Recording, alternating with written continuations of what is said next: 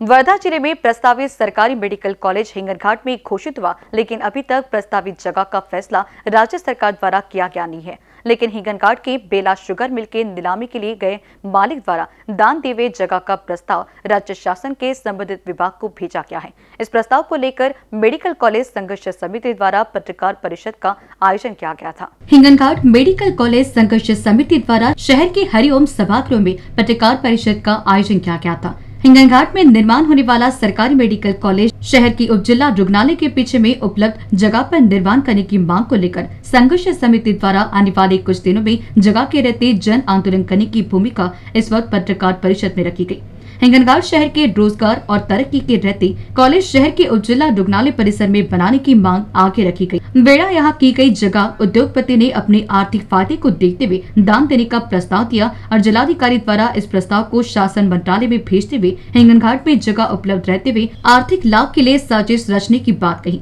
वही बेड़ा यहाँ की जगह का विरोध करते हुए जनता के हित की दृष्टि ऐसी सरकार ने फैसला लेना चाहिए, ऐसा कहा गया इस पत्रकार परिषद में मेडिकल कॉलेज संघर्ष समिति की पुरुष और महिला पदाधिकारी उपस्थित थे। इनमें न्यूज़ के लिए हिंगन घाट से रवि येनरकर की रिपोर्ट। क्वालिटी का भरोसा चाहिए तो प्रमोद ज्वेलर्स आइए जो लेकर आए हैं शगुन कलेक्शन का एक खूबसूरत तोहफा। हर तीस हज़ार रूपए की खरीद पर पाइए एक lucky draw coupon lucky draw योजना में वेस्पा जीतने का सुनहरा मौका। और भी कई सारे आकर्षक इनाम। जल्दी करें। ऑफ़र केवल 30 जून तक। और लकी ड्रॉ एक जुलाई को। Pramod jewellers Parthi Nagar Hingna road Nagpur.